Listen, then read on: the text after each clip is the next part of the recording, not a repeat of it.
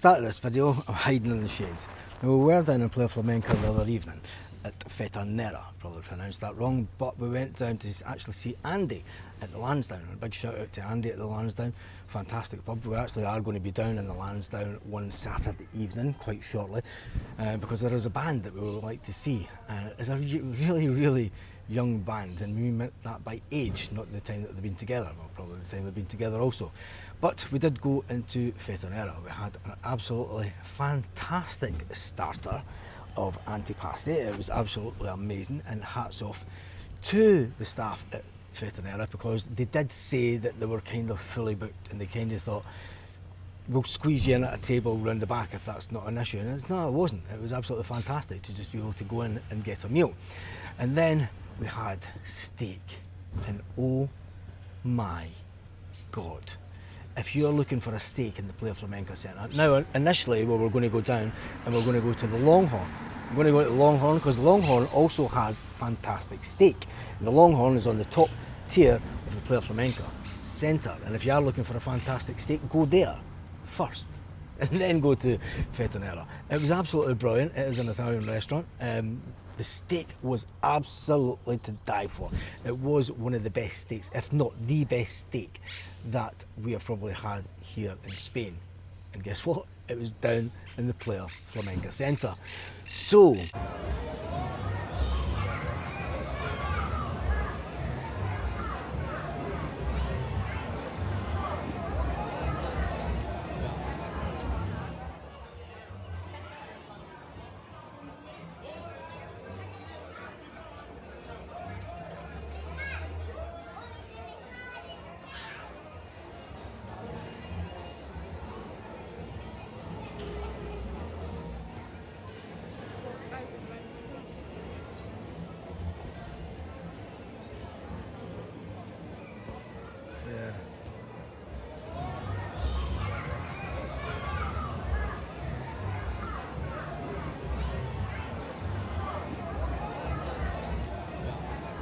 That being said, let's take a walk around in Playa Flamenca this morning.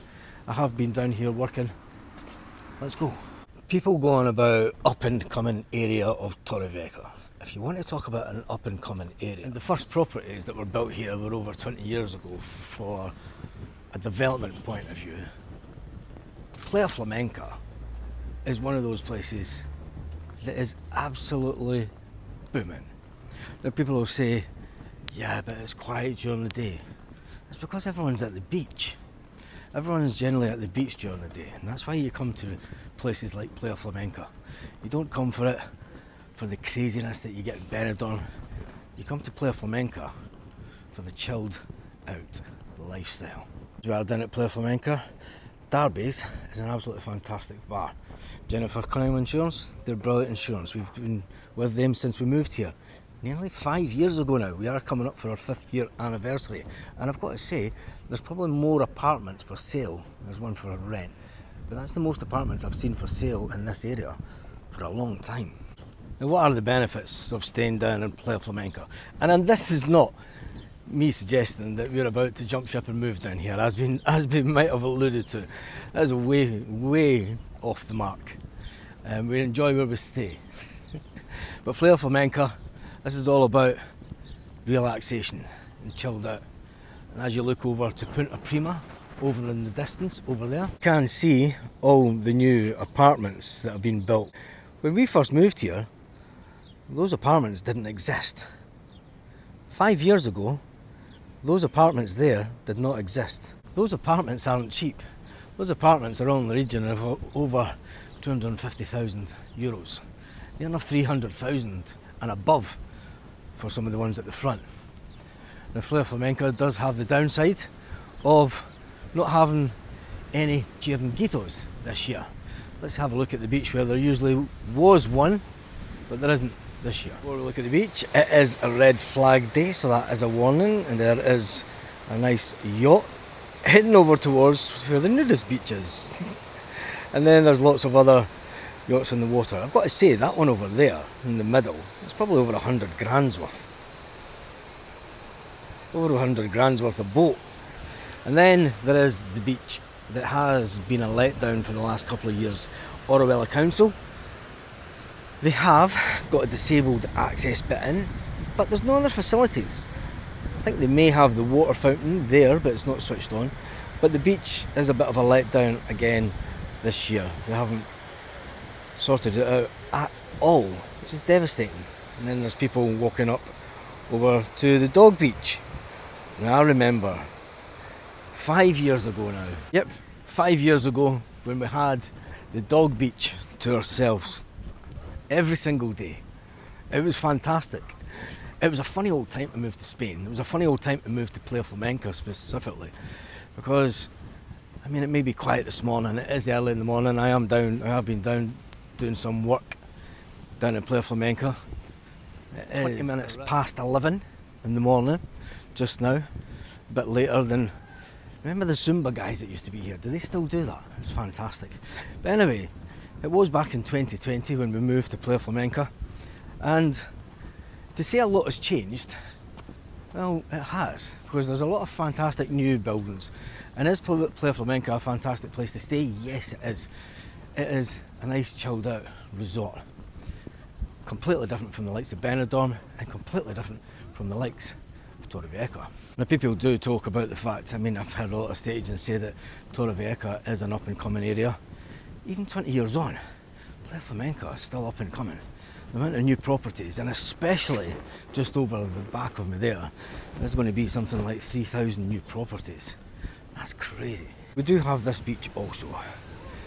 And they haven't sorted the barriers out here. This is a disappointment because they've been like that for a long time.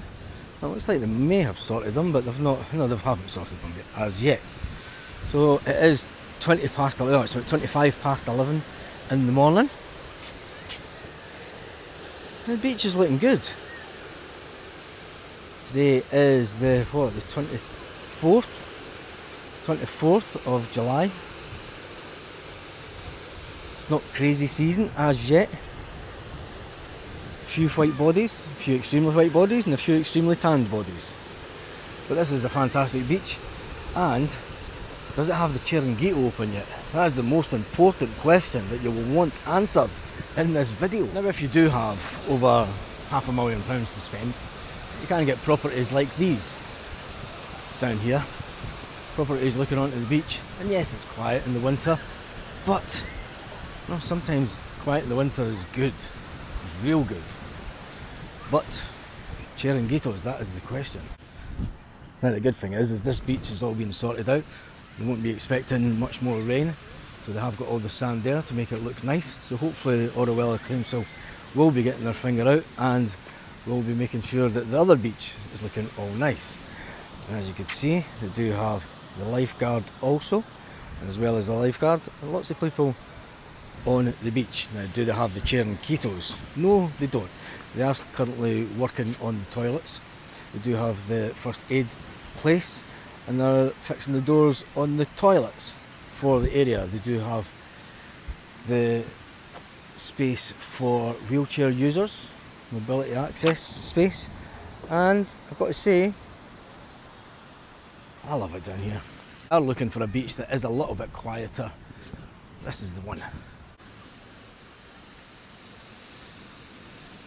Interesting. The beach just the other side of this area was a red flag, but this beach is a green flag. And there is only really a little outcrop of rock between them. So it just shows the difference, so just the space of over a, a hundred metres or so, that they do have the green flag out on this one. Yeah, the one next door is the red flag. Maybe it's to do with the state of the beach.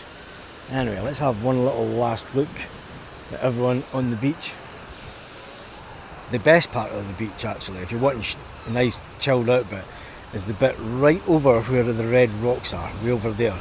You get over there and you get the sun all day long, a little bit of wind. But if you want the sun till later on in the night, if you hit this part of the beach here, this gets the sun till later on. So really the purpose of this video is the fact that we were asked, would you recommend Playa Flamenca for someone buying a holiday home? Yes, for definite.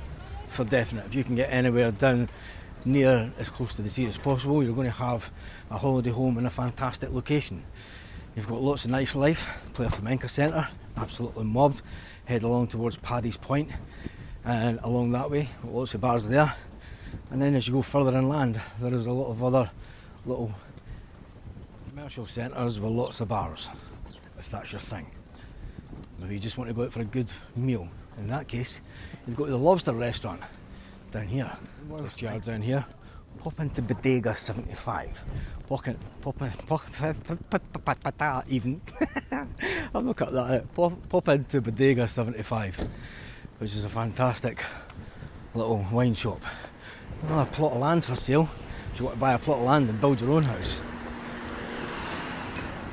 Which happens a lot that you do get a lot of down in this area is people buying old Spanish properties and then completely demolishing the building like what has happened here. For me, this was a fantastic old building. It was a fantastic old typical Spanish type building.